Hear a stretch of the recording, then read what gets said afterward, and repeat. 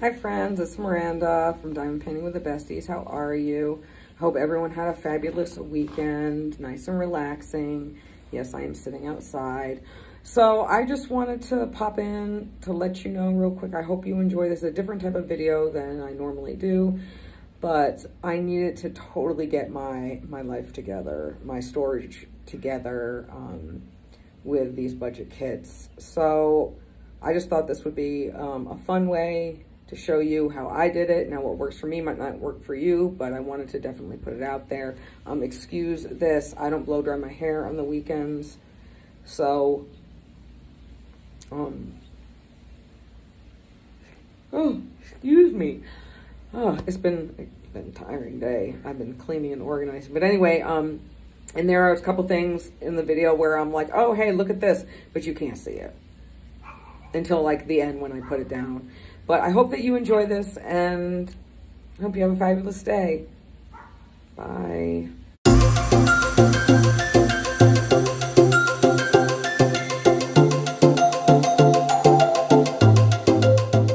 Hey everyone, it's Miranda from Diamond Painting with the Besties. How are you? I hope everyone is doing amazing.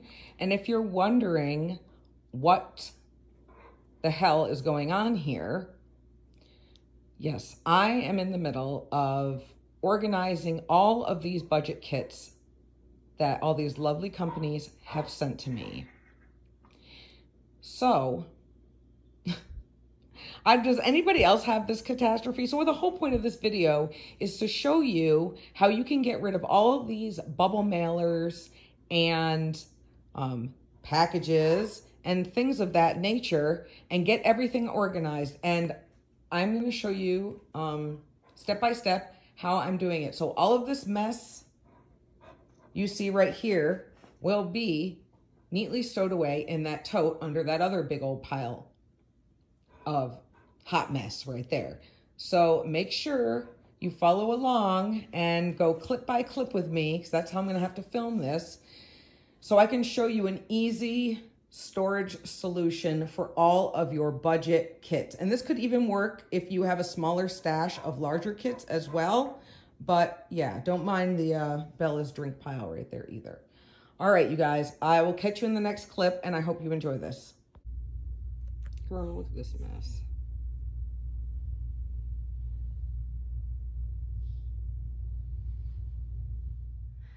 All right, everybody, so I have gotten everything organized.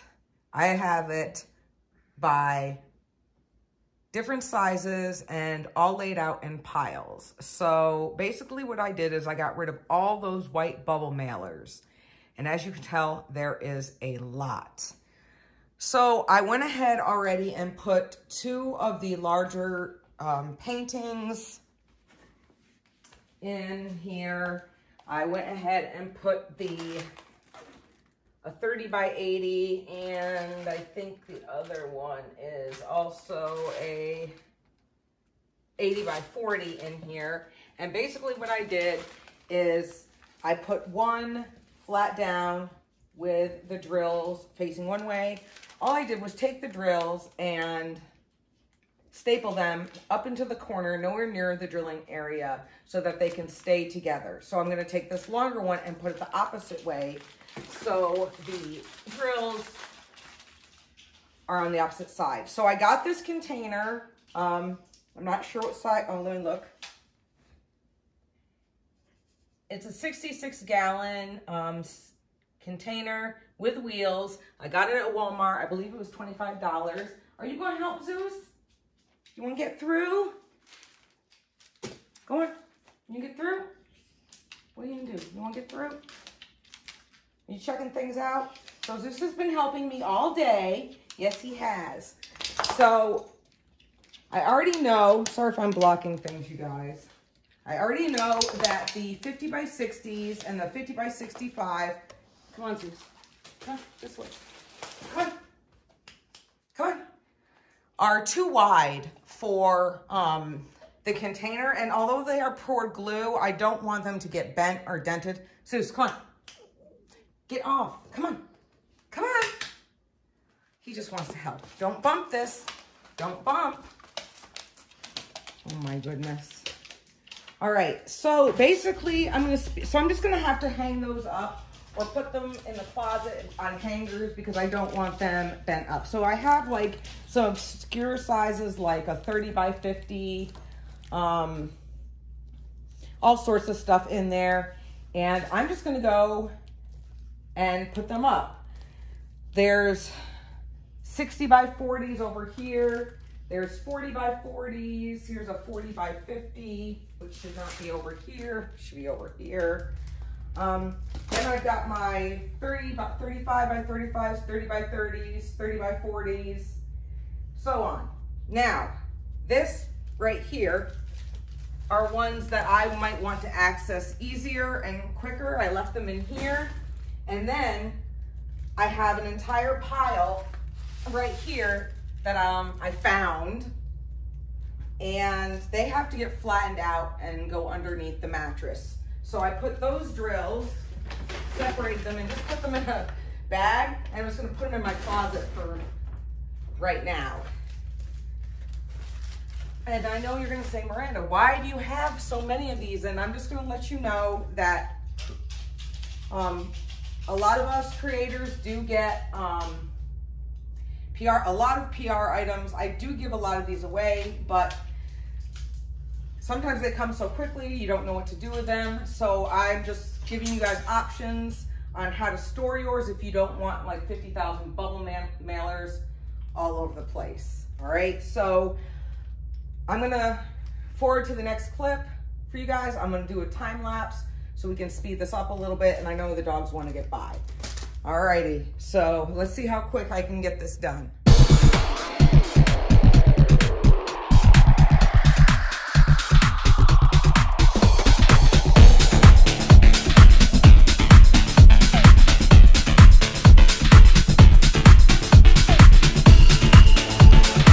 Guys, you could see that that filled up pretty quickly. And I'm not quite sure if it, if I got negative space or not. I also forgot to tell you, what I did was on the ones that I remembered where they were from, digging through a whole bunch of emails and everything, is I took a sticker, thanks to Whitney. If you guys haven't checked out Whitney's channel, I'll go ahead and I'll link it below. Oh, I'm all out of breath. Um, but I put the sticker with the company's name up at the top so that way I knew where the kit would come from. I'm actually making another pile that I can put more towards the top of the ones that I know I wanna work on sooner rather than later. So hopefully I can at least get all the 30 by 40s in and then I'll have to get something else for the little 30 by 30s. So let's uh, try and finish this up.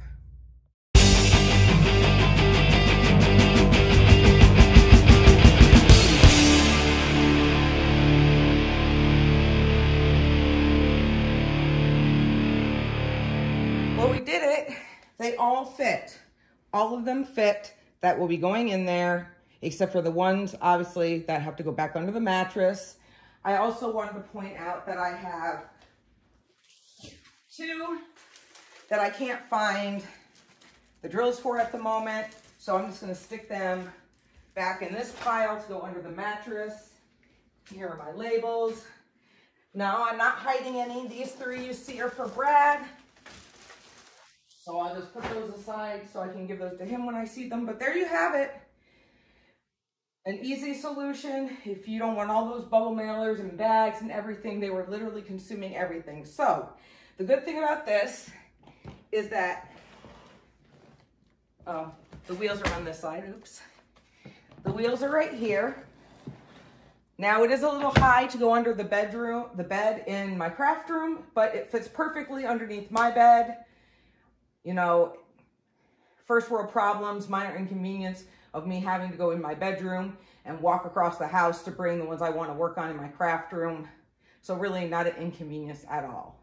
Um, I do want to mention I do have a few others, but they are double-sided adhesive and I didn't want to put them in this container because for whatever reason, I didn't want something to get smushed or what have you and the glue get messed up. So I have those laying flat. Oh my God. See, you guys, it is never ending because I have these right here. So do you think I can fit them in? Let's see if I can fit these in. We have our crab apples. We'll put that this way. We have our rude one. I'll just put our travel one right this way with the drills.